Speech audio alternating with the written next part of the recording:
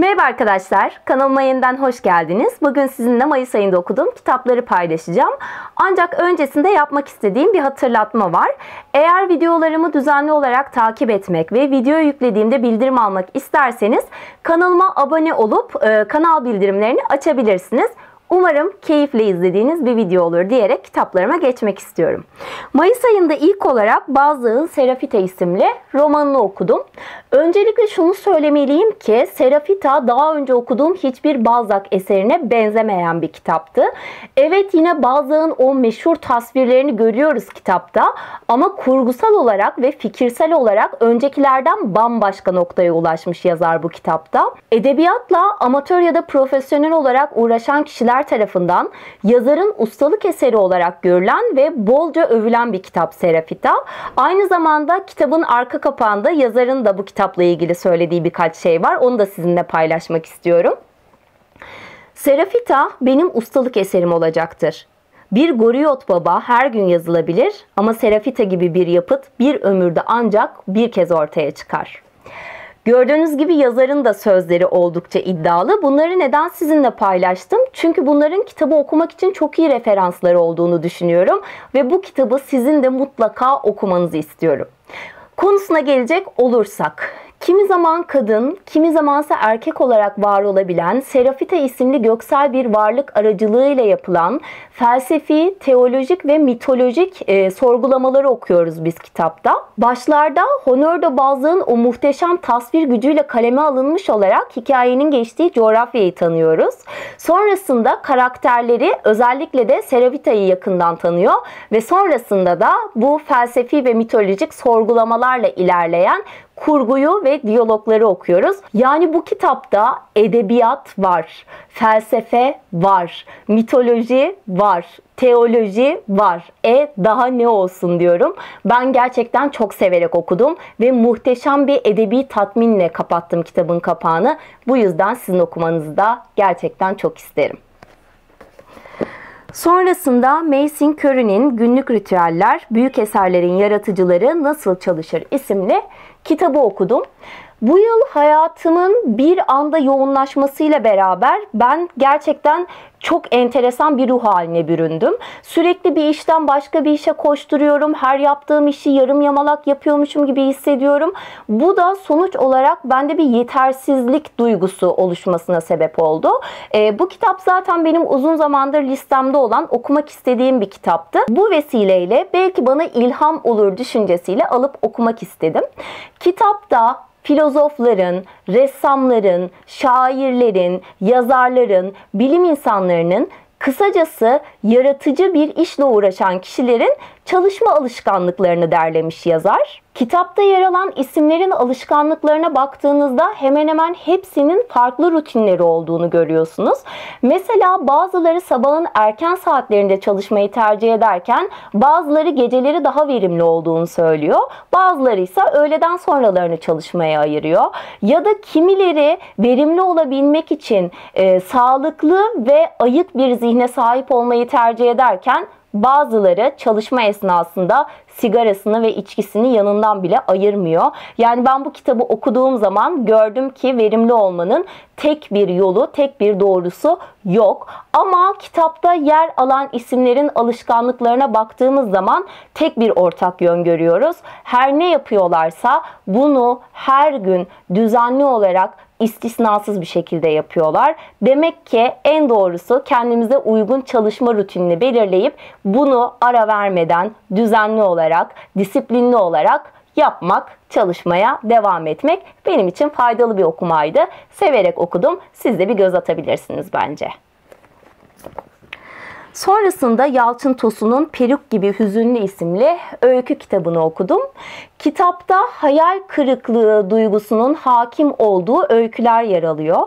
Yalçın Tosun'un öyküleri genelde kısadır, özdür, yalındır ama çok etkileyicidir ve ben kendisinin öykülerini okumayı gerçekten çok seviyorum. Peruk gibi hüzünlü de diğer öykü kitapları gibi severek okuduğum kitaplardan biri oldu.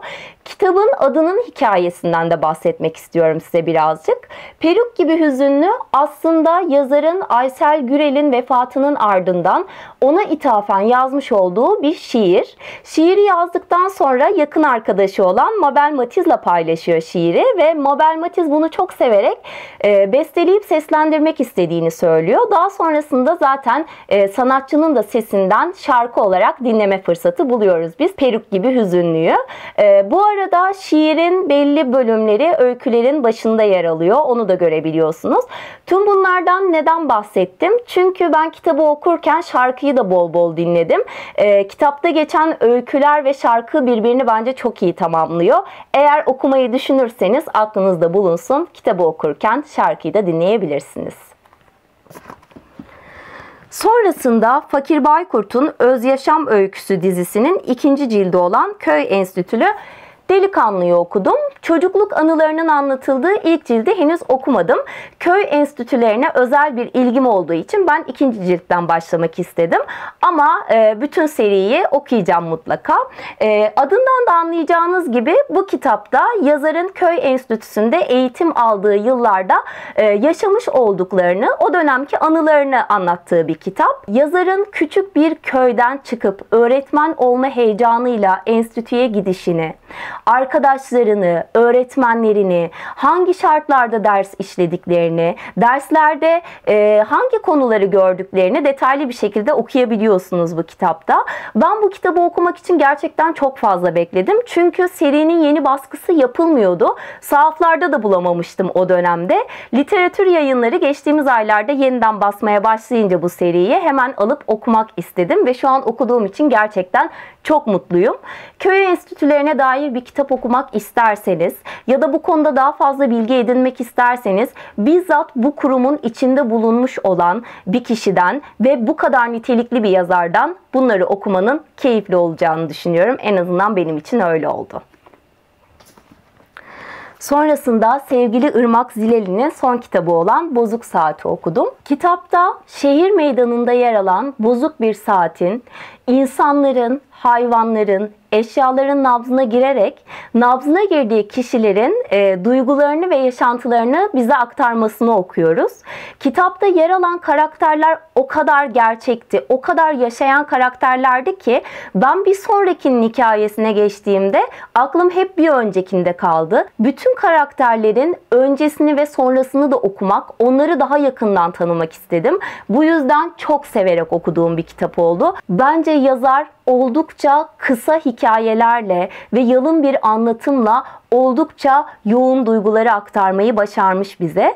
Aynı zamanda yazarın dün e, Kadıköy'de Akademi 1971 Kitap Evi'nde Bozuk Saat'le ilgili bir söyleşisi vardı ve ben de katılmayı gerçekten çok istiyordum. Hatta bu videoyu bu kadar geciktirmemin sebeplerinden biri de söyleşiydi. Söyleşiye giderim, orada hem yazarla tanışırım hem güzel bir sohbet ortamı olur hem de orada konuşulanları da size aktarabilirim diye düşünüyordum. Ama maalesef öyle olmadı.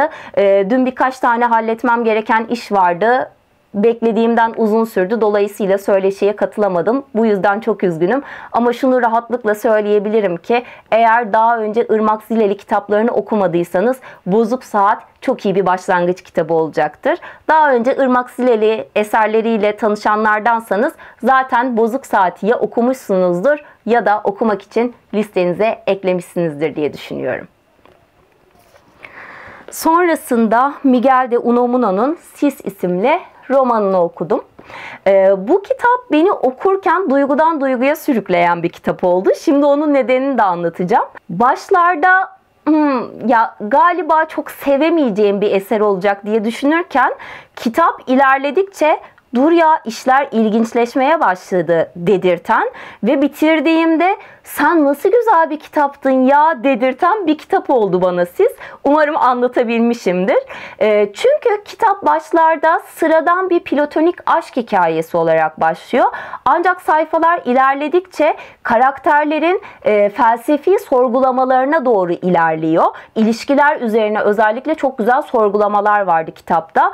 Ve kitabın sonunda kitabın ana karakteriyle yazarı arasındaki çatışmayı okuyoruz. Kitap için sistem Sis'ten daha uygun bir isim de olamazdı bana göre. Çünkü sayfalar ilerledikçe kurgunun tamamen bulanıklaştığını ve sonlara doğru sis gibi dağılıp gittiğini görüyoruz.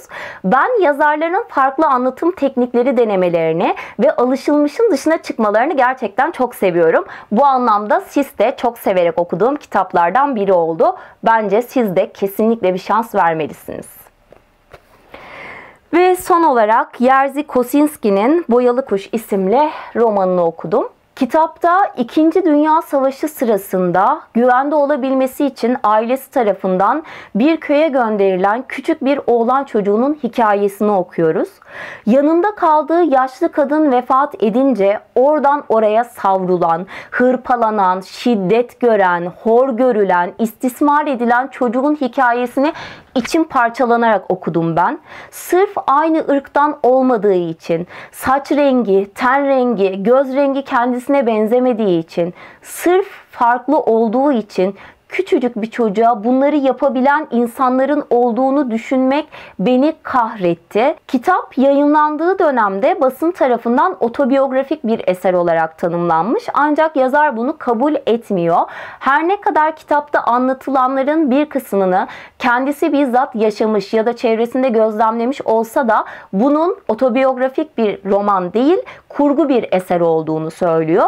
Aslında bunun benim için çok da bir anlamı yok. Bunu yazar yaşamış, çevresindekiler yaşamış ya da herhangi bir yerdeki insanlar yaşamış çok fark etmiyor. Ne olursa olsun anlatılanlar gerçekten yürek burkan cinstendi. Gerçekten kahreden cinstendi. Biliyorum eğer bu kitabı okumaya karar verirseniz sizin de canınız acıyacak. Benim öyle oldu. Hem çok severek okudum hem de okurken inanılmaz zorlandım. Ama ne olursa olsun kesinlikle okunmaya değer bir eserdi bence. Sizin de içiniz acısa da okumanızı çok isterim. Benim Mayıs ayında okuduğum kitaplar ve kitaplarla ilgili düşüncelerim bu şekildeydi. Eğer aralarında sizin de okuduğunuz kitaplar varsa lütfen düşüncelerinizi benimle de paylaşın. Ve siz Mayıs ayında neler okudunuz onları da benimle paylaşabilirsiniz. Aralarında tavsiye ettiğiniz kitaplar varsa mutlaka onları da yorum olarak bırakın lütfen. Bir sonraki videoda görüşene kadar hepiniz kendinize çok iyi bakın. Hoşçakalın.